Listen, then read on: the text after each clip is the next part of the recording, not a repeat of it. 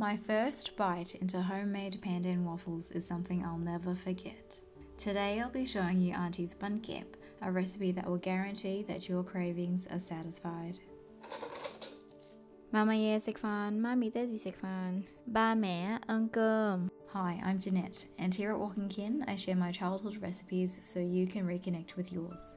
For today's dessert, making it at home means you can make it to your liking so that it's crispy on the outside and fluffy on the inside every time. To start, sift 2 cups of self-raising flour into a large bowl.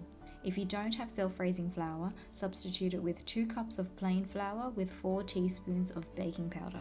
Sift through 1 cup of sugar and add in 1 cup of milk, 500 grams of coconut cream along with 2 eggs. Put 1 teaspoon of the pandan extract in.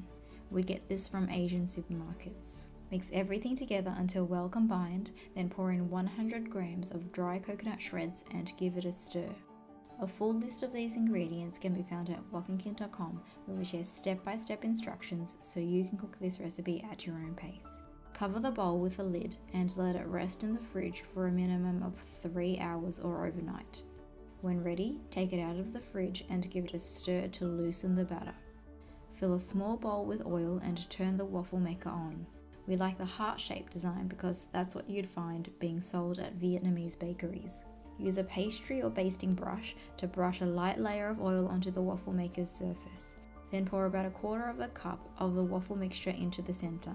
Spread it out gently until roughly 3 quarters full, then close the lid. Let it cook for 3 minutes or until the rising steam has disappeared. These days, when I'm at the shops, I can walk past the Vietnamese aunties selling their bánh kẹp because I know I can have it fresh and full of pandan flavour at home. And there you have it, Auntie's homemade pandan waffles, a recipe I know I can use all the time. For a sweet treat everyone will appreciate after school or work, here are our tips for the best results. Number 1. Use vegetable oil. Butter will burn quickly, so stick to a neutral flavoured oil with a high smoking point. Number two, make a test piece first. Every waffle maker's temperature will be different, so adjust to your machine. Number three, cook them as you eat. Bánh kẹp is best served hot, so hold off on making any until you're ready to eat them.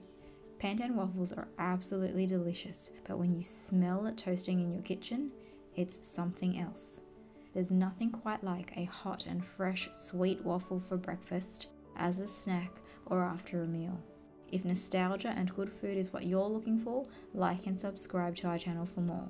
To remember another sweet memory with me, I've created a playlist of my childhood desserts for you. See you in the next video.